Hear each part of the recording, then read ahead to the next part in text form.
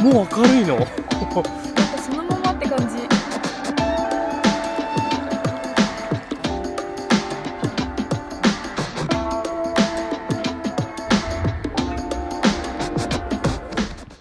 どうも、ケイスケです。今日は僕のめちゃくちゃ使ってる、なんなら今持ってるカメラの中で一番使用頻度高いかもなと思うくらい使ってるカメラ、こちら。アルファ1を改めて紹介したいと思います。僕ね、ちょっとアルファ1を動画に出すのあんまりしてなかったんですよ。これなんでかっていうと、まあ、買ったこと自体はね、えー公開したりとか、何本か、2、3本動画出したりはね、えー確かにしてたんですけども、どうしてもね、このアルファ1っていうのを前面に出しすぎちゃうと、あの、あいつ、アルファ1使ってるから、毎回作例綺麗だ。それはアルファ1で撮ったらずるいわ。みたいなね、そういうバイアスが入っちゃうと思ったんですよね。まあ、正直こう、レンズの作例って言っても、やっぱ特性ね、えー全然然カメラが違ったとしても、全然レンズの特性っていうのは現れてくるので、レビューとしては適正なものになってるかなと思うんですけども、それでもやっぱイメージで、こう α1 使ってるっていう風になると、ちょっとレビューとしてはマイナスなようなイメージがついちゃうかなと思って、あんまり出さないようにしてたんですけども、言うて一番使ってるのこれです。あの、ちょっと前に僕、ライカ Q2 の話をしたと思ってて、えこれも本当に使ってるんですよ。で、普段の趣味カメラとしては、こっちを使う頻度が確かに高いんですけども、やっぱ旅行に行く時、え動画、写真どっちも撮りたいよって時には、大体こっちの α1 を使うことが多いです。まあ、言うなら、このライカ Q2 っていうのは僕にカメラの楽しさっていうのを与えてくれるものだと思っていて、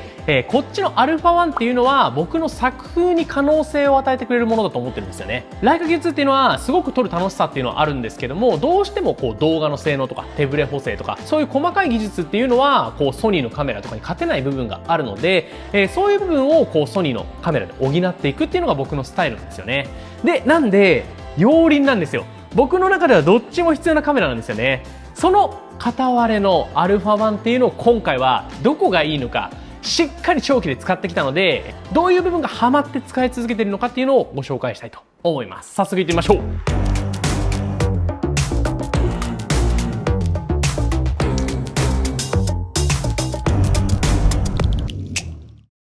はい、ということで、改めまして今回ご紹介するのはこちら、ソニーの α1 っていう、えー一眼カメラですね、えーミラーレス一眼のソニーの中でもフラッグシップっていう一番強いカメラです。フラッグシップっていう言葉はあんまり聞き馴染みないかもしれないんですけども、えーこのフラッグシップっていうのは各メーカー、例えばキャノンとかニコンとか、えソニー、富士フィルムとかいっぱいありますけども、えそのメーカーの中で一番強い機種、基本的には一番これがもう目玉の機種だっていうのをフラッグシップって言います。で、今出てるところで言うと、例えばフルサイズで、ニコンの Z9 とか、まあ、キャノンはもうすぐ R1 っていうカメラが出るって言われてますけども、えーその辺のカメラっていうのがフラッグシップと言われるやつで、えーソニーの場合はこの α1 っていうのがフラッグシップに値するカメラとなります。で、フラッグシップのカメラいろいろある中でも、僕は特にやっぱ α1 が好きなんですよね。で、これの何がすごいって、やっぱコンパクトなんですよ。フラッグシップって、えー、大体こういう正方形のカメラが多いんですよね。こういう正方形のカメラが多い中で、α1 はこっちの α7S3 とかと比べても大体同じですよね。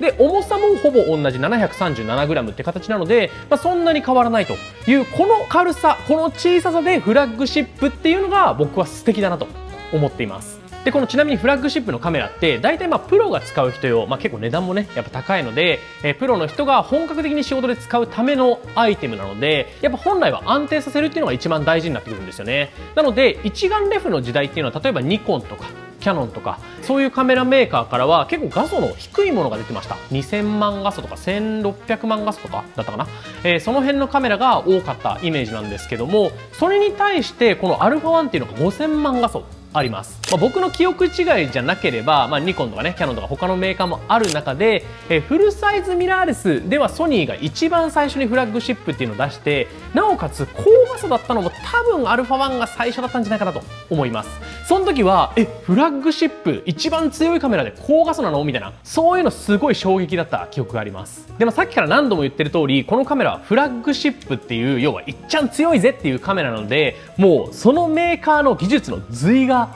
盛り込まれてるんですよね。でソニーの強みソニーの他のメーカーにはない強みっていうのを、まあ、どこかなって自分が考えた時に結構恩恵を受けてる部分があって1個はさっきも言った大きさの部分です。まあ比較的他のメーカーと比べるとやっぱちっちゃくてで持ち運びやすい軽さっていうのが1個ソニーの特徴かなと思っています。でもう一つが動画フォーマットの多さですね。ソニーのカメラって結構動画の撮影フォーマットっていうのがいっぱいあって例えば、えー、10ビット8ビットどっちも撮れるんですけどももちろん。4K でも撮れるし4 4K のちっちゃいファイルサイズでも撮れるみたいないろんなファイルサイズいろんな形式で撮れるっていうのがソニーの強みです、まあ、その分でちょっとややこしくなってしまうんですけども例えば YouTube やりたい人とか業務やりたい人とかそれぞれの業界で欲しい動画フォーマットっていうのが違ったりするんですよね。でそのどの業界にも対応できるような動画フォーマットで撮れるよっていうのがソニーの僕は強みだと思っています。例えばニコンの Z9 とか、えー、僕使ったことあるんですけどもニコンの Z9 もすごいカメラで動画の RAW っていうのが撮影できるのはこの α1 にはない強みだと思うんですけどもその代わり RAW を撮らない時の動画フォーマットの種類っていうのはちょっと少なくてですね、まあ、例えば気軽な気持ちで YouTube 撮りたいよでも色編集したいよみたいなユーザーにはちょっと使いづらいカメラとなっております、まあ、そういういろんな業界の人に対応した動画フォーマットがあるのはソニーの強みです。でもう一つ強いのがオートフォーカスですね。オートフォーカスの即拠点っていうのが多いです。えこれ何かっていうと要はオートフォーカスどこで判断するかどのポイントで判断するかみたいな点数えポイントの多さなんですけども なんとなくわかるかな。えこれ何かっていうと、まあ、オートフォーカス画面全体の中でどのぐらいのこう細かさでオートフォーカス判断しますかみたいなそういう、まあ、なんとなくわかるかなこうポイントみたいなやつなんですけども、まあ、例えばニコンの Z9 とかは確か500いかないぐらいだったと思うんですけども、え、こっちの α1 に関しては759点と。もちろんその点数が少ないからといってそんなオートフォーカスはめっちゃ変わるかって言われたらそういうわけでもないかもしれないんですけども、まあ、僕の使った感覚で言うとかなり α1 のオートフォーカスは使いやすいです。もう本当にちょっと一個ソニーの他のカメラと比べてもレベルが違うなという感じがします、まあ、オートフォーカスに関しては本当他のメーカーもね最近はめちゃめちゃ上がってきてるので昔ほどのこう優劣っていうのはなくなってきてるんですけどもそれでもやっぱソニーが一番もともと良かったんですよね。やっぱミラーレスの業界ではソニーが一番オートフォーカス良かったのでなんかその分のアドバンテージっていうのがまだねこの α1 に感じるかなと僕は思ってます。まあ、他にもたくさんねソニーの強みあると思うんですけども僕の中でソニーの強みとしてはさっきの軽さっていう部分だったりとか動画フォーマットの多さ柔軟性ってところプラス、えー、オートフォーカスの部分この3つが大きなポイントかなと僕の中では思っております。ここまでちょっとメーカーとしてのソニーの特徴を述べさせていただいた上で、えー、ここからは α1 単体としてのどんな特徴があるかっていうのをご紹介していきたいと思います。ケイスケの動画。ということでこちらがソニーの α1 ですね、えー、今は 2470mmF2.8G マスターのレンズがついていますやっぱこのレンズも素晴らしいですねでまずセンサーサイズですけどもセンサーサイズはフルサイズとなっておりますで α7 シリーズ、まあ、とはいえ α1 っていうカメラですけども、まあ、センサーが大きいですね はい、で画素数は5000万画素。で動画撮影が 8K の 30p までいけます。でオートフォーカスの即拠点っていうのはさっきもご紹介した759点あってえー、ISO は100から3万2000でシャッターの速度が3万2000分の1から30秒までいけます。すごいですよね。で重さが 737g という風になっております。もちろん手ブレ補正とかもしっかりついているというカメラです。でさっきも言った通りこりフラッグシップこういういいカメラとして高画素っていうのは結構初ぐらいのレベルだったんですよね、まあ、最近ではこうさっきも言った Z9 とか Z8 とかも、え、高画素になってきてますけども、えー、この当時フラッグシップとして一番高画素だったのはこのね、え、α1 という風になっております。でまあ高画素がねいいっていうわけではないんですけども高画素と低画素のメリットデメリットっていうのもあって高画素っていうののメリットとしてはやっぱりね 8K とか、え、画素の高いものを撮れるというのがメリットとしてあります。例えば写真を大きく展示したいよと思った時に高い画素数で撮っておくと精細な写真が印刷できたりとかあとは動画に関しても 8K 撮るっていう風になるとやっぱり5000万画素クラスの画素数が必要になってきます。で対してデメリットっていうのが書き込みの速度とかですね、えー、ファイルサイズっていうのはどうしても大きくなってきます。例えば写真1枚1枚撮っていくと、えー、1200万画素と5000万画素っていうのを比べると5000万画素の方が明らかに画素が多い分情報量が多い分データが重くなります。でつまりいっぱい撮影するよとか思った時に Web 用の写真いっぱい撮影するのに高画素で撮っちゃうと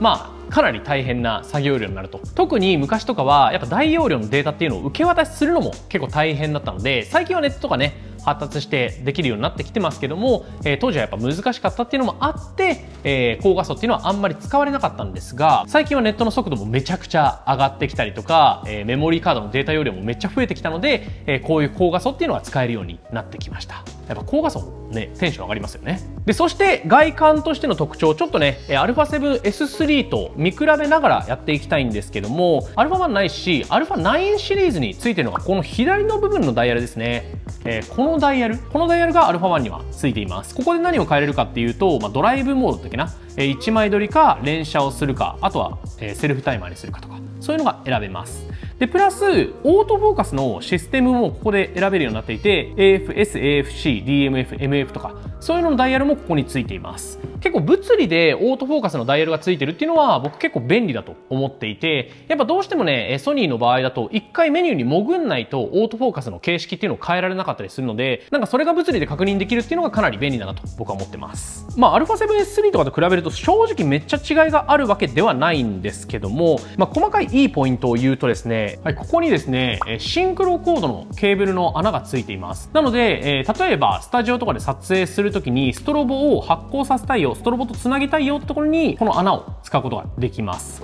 最近のこうソニーのカメラとかだとちょっとこれがついていないので、えー、まあ、ちょっと別途ケーブルを用意しなきゃいけなかったりするんですけどもこの α1 に関してはここのね、まシンクロコードというケーブルからつなぐことができます。なので、えー、本格的なスタジオ撮影でも使えるっていうのはいいですよね。えちなみにフラッシュの同調速度、フラッシュってシャッタースピードが速すぎると、えー、光よりもちょっとね、シャッタースピードが速くなっちゃって、ちょっと変な写真が生まれちゃうんですけども、その辺のシャッタースピードの上限下限っていうのも、実はカメラによってちょっと変わってくるんですよね。で、α1 は400分の1までいけます。これも素晴らしいところです。あんまりねこうスタジオ撮影しない人にはわからないかもしれないんですけども、えー、よくする人っていうのはおおすごいっていう風になるポイントですね。であともう一個特徴としては最近のソニーのカメラってバリアングル液晶っていうね、えー、こういうモニターが横に開くモニターが多いんですけども、えー、この α1 に関してはチルトのモニターになっています。これもね僕は好きでちょっと後ほどこの辺に関してはご紹介したいと思います。ケイスケの動画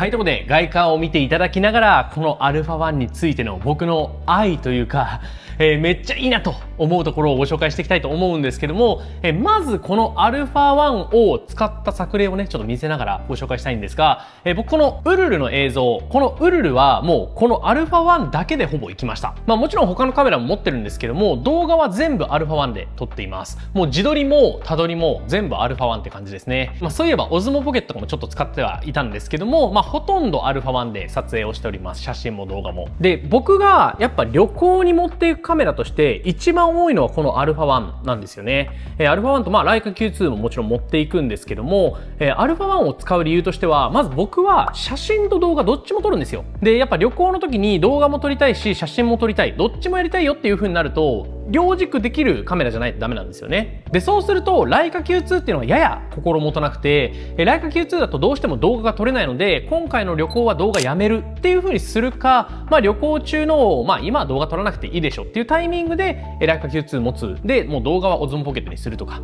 えそういうタイミングで使うことはあるんですが、基本的にやっぱいい映像を撮りたいなっていう風になってくると、この α1 っていうのが一番メインに僕は出てきます。で、まずちょっと写真のところから語りたいんですけども、めっちゃいいんですよ、写真。これね、なんでこう α1 がいいのかをちょっと申し訳ないんだけど、言い表せなくてわかんないんですよ。わかんないけど、写真を撮った時のこう例えば α7C2 とか、えー、ZV-E1 とかいろんなカメラ僕持ってますけども、えー、そういうので写真を撮った時にパッて見せられてあいいなって思う写真が撮れてるの α1 がめっちゃ多いんですよね なんでなんか不思議な感覚です、まあ、パッて並べられた時にこう α7C2 ですか α1 ですかって言われたらもう分かんないレンズが一緒だったらのに α1 だった時になぜか写真のぶどまりがいいんですよねこれはすごく不思議なんですけどもどっから来てるのかあんまり分かってなくてしかも画素数の問題じゃないと思うんですよね僕はあの前に α7R5 とかそういうのも使ったことあるんですけども、えー、そういう高画素機なんならこれよりも多いよ画素数多いよっていう機種でも、えー、やっぱり α1 の方がいいなと思う瞬間 多いです。なんでなんだろうね。でこれに関しては僕もちゃんと分析ができなくてなぜか α1 の方が撮れる写真がいいっていうのが僕の中ではあります。これ本当に申し訳ない。まあ、やっぱそれはシャッターのフィーリングとか、オートフォーカスの精度とか、そういうのもあったりとか、まあ、あとは、まあ、やっぱフラッグシップだから持ってる側のテンションとかもそういうのもあると思うんですけども、そういうの細かいものが合わさって、めちゃくちゃ僕にとってはいい写真がたくさん撮れるなと。思っています。で、あと編集してる時に、ちょっと他のカメラよりも色がなんかちょうどいいなっていう風に感じる時はあって、えー、編集した時に例えば α7C2 とかだとちょっと色がギトッとするなっていうシーンが僕はあったりしたんですけども、えー、そういうのが α1 の場合は、まあ、本当に少ないなっていう印象。もちろんそこもちょっとした差ではあると思うし、技術で埋められる部分だとは思うんですけども、僕にはそこまでの技術がないので、その差をあんまり埋めることはできないんですよね。なので α1 使ってる意味が僕にとって てはあるなと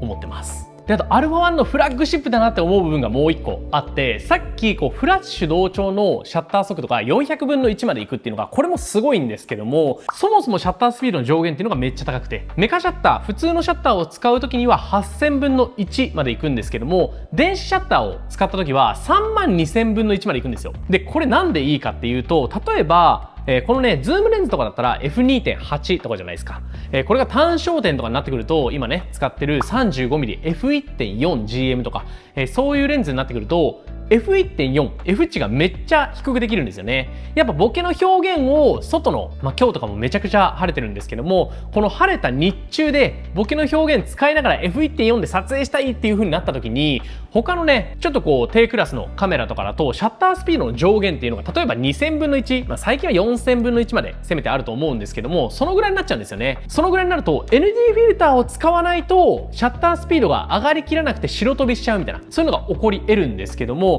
この α1 の場合はもうシャッタースピードめっちゃ上がるので全然そういう不便さないですそれでめっちゃいいなと思ってて結構やっぱ僕スナップに出ること多いし日中撮影したいなっていうタイミング結構多いんですけどもその時にも単焦点を使ってストレスなく撮影できるっていうのはめちゃくちゃ便利ですで、動画撮影に関してももうほぼパーフェクトに近いです。僕はあんまりこう一眼カメラで動画の RAW っていうのは撮影をしないので、えー、10ビットあれば十分なんですよ。で、8K も正直撮らまあ 8K なんて使う場面はあんまないじゃないですか。なので 4K までしか使わないんですけども、4K のスローモーションはめちゃくちゃ使っていて、4K のスローモーション42210ビットっていう、めちゃくちゃ要は色情報の多い、後からカラーグレーディングしやすい状態で 4K のスローモーションが撮れるんですよ。なので、こんな感じでスローモーションで撮影することもできるし、えー、今回、ウルルの Vlog とかだと、自撮りも全部このね、α1 でやったって言ったじゃないですか。で、α1 ってさっきも言った通り、チルトのモニターなので、こっちに画面向かないんですよ。なんですけど、オートフォーカスめっちゃ優秀なんで、画面見なくてもオートフォーカスちゃんと合ってるなっていう信頼があるのも α1 のすごいいいところです。で、発売当初結構熱持つとか、えー、すぐ止まるっていう話もあったんですけども、僕もう発売されて2021年発売なので、もう3年くらいえ使ってるんですけども、一回も止まったことないです。まあもちろん僕はね、そんなに長回ししないっていうのもあるんですけども、それでもオーストラリアで外で結構長回し使ってても、全然こう困ったぐらい発熱したことはないので、まあ正直困るところはないかなっていう印象です。まあもちろんね、業務で何時間も回すっていう風になってくると、ちょっと厳しい部分もあるかもしれないんですけども、僕の場合の普段 Vlog に使うとか、えー、普段 YouTube に使うとか、えー、まあ写真も撮影しながら動画も撮影するみたいなそういうスタイルの場合はもう止まることはほとんどないですね。でもまだまだあるんですけども動画の絵作りさっきもね絵めっちゃいいって話したと思うんですけども写真も良ければ動画もめちゃくちゃ良くて動画で僕ログ撮影っていうのをしてるんですよね。でこれちょっとニッチな話に入るんですけどもこのログ撮影をする時ログ撮影って薄めにとってダイナミックレンジ白飛びと黒つぶれっていうのをなくしながら撮影することによってまあ後から編集は必要なんだけどえリッチな絵にしやすいよっていうフォーマットになっております。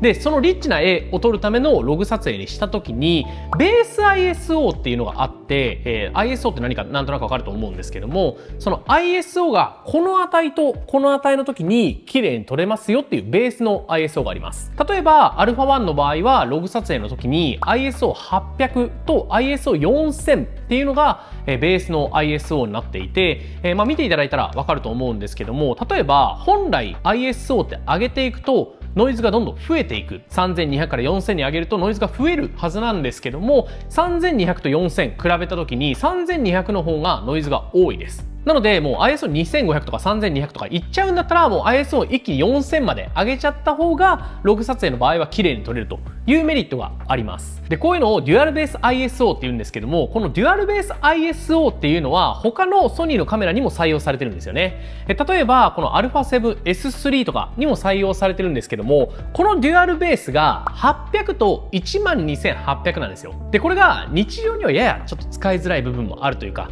例えば真っ暗なシーンで言うと確かに α7S3 の方が高い感度12800まで上げちゃって撮影する方が綺麗なのでそこまで上げちゃって撮影する分には問題ないんですけどもとはいえ日常とかなんか夕方ぐらいで12800を使うシーンってあんまりないんですよ。まあ、せいぜい使って4000、5000、6400とか、その辺で僕はよく使うんですよね。っていう風になると、大体、こう、普段使うような ISO の値に近いベースの方が使いやすいんですよ。わかるかな？例えば夕方で ISO4000 ぐらいが、こう、ちょうどいいかなって思ってるシーンでも、α7S3 持ったら12800まで上げた方が、まあ、映像が綺麗になると。でも、ISO4000 で撮るぐらいが適正で12800まで上げちゃうと、めっちゃ映像が明るくなっちゃうんですよね。で、映像が明るくなっちゃうってことは ND フィルターがそこで必要になるみたいな。なんか暗いシーンなのに ND フィルターが必要みたいなのが α7S3 とか ZV-E1 とかそういう他のカメラでは起こります。それがちょうどよく設定されているのがこの α1 だと思っていて、まあちょっとねニッチな話だと思うので難しいかもしれないんですけども、とにかく日中でも夕方とかちょっと暗くなったシーンでも使いやすいのはこの α1 の動画だと 僕は思います。まあ、あとは画素が多いので、スーパー 35mm モード1.5倍のクロップっていうのも全然できて撮影ができちゃう。それで 4K も撮れちゃう。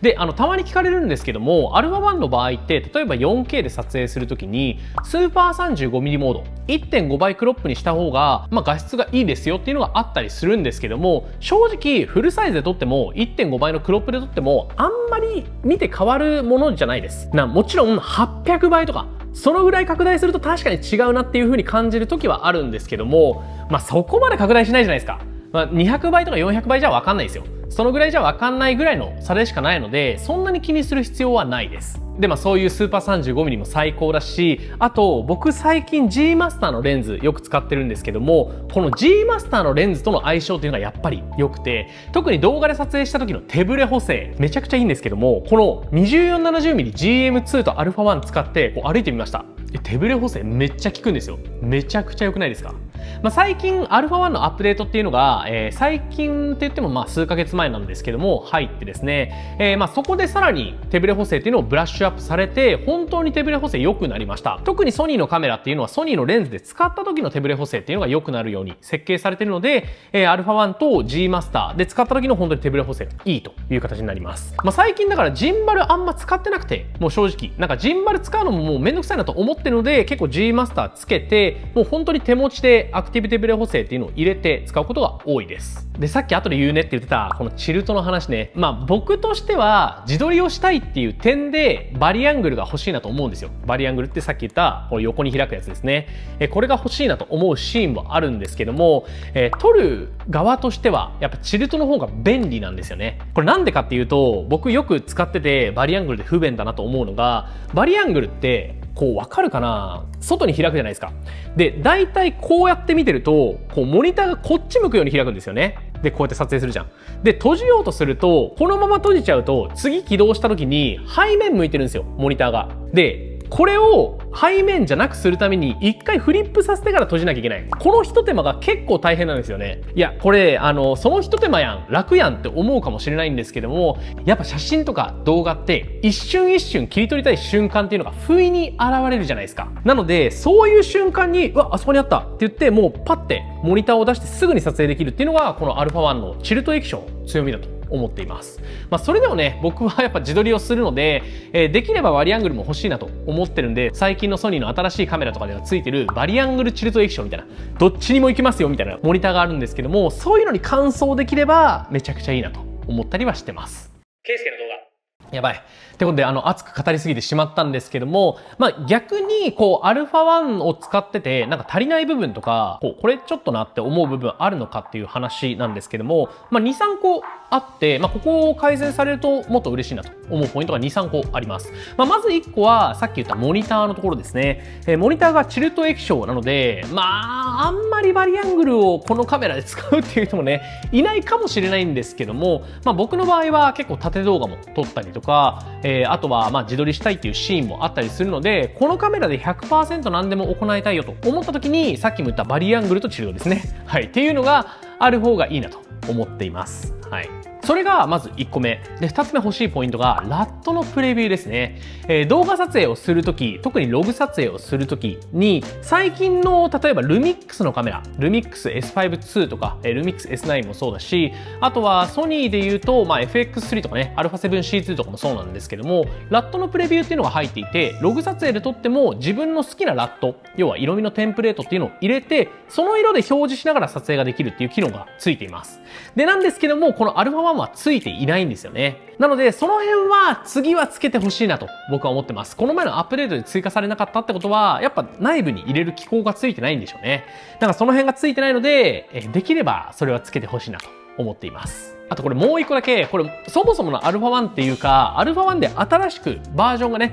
提供されて、この前アップデートしたんですけども、そのアップデートのちょっと不満なんですけど、これね、画面ちょっと見てほしいんですけども、このレックの秒数っていうのが上に表示されてるんですよ。上にちっちゃく表示されてるんですよね。で、これが、こう、チルトモニターをバッて出した時に、このアイカップと干渉するんですよ。このファインダーの部分と干渉するの。だから何秒撮れてるかっていうのは見えないんですよ。それで結構不便です。多分ね、バージョンアップ前は違う部分にね、秒数が表示されてたんで見えたんですけども、これがね、見えなくなって結構不便ですね。このバージョンアップどうにかしてほしいな。僕の場合、こう、アルファ1をローアングルで撮るっていう時も多くて、そうするとこう、モニターフリップして撮影することもあるんですよ。で、そうすると見えないので、こう、一回モニターをちょっと手前に引き下げるみたいな作業が入っちゃうので、一手間多くなっちゃってるんですですよね、今。なので、でちょっとこのモニターの表示は変えてほしいなと僕は思ってます。なんかちょっと自由にいじれるようにするか、まあ、真ん中からこう揃えないようにしてもらえるか、ちょっとその辺はどうにかしてほしいなと思ったりしてます。まあ、っていう3つです。まあ、我慢できないポイントではないんですけども、使っていて、うわ、ここちょっと不便だなと思うポイントは、僕の中ではその3つくらいでしょうか。